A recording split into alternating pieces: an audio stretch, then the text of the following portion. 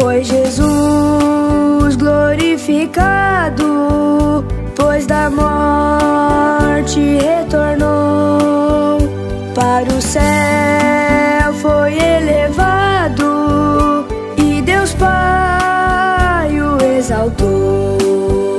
Quão gloriosa é a história de Jesus, o Salvador, que alcançou vitória e no céu intercessor.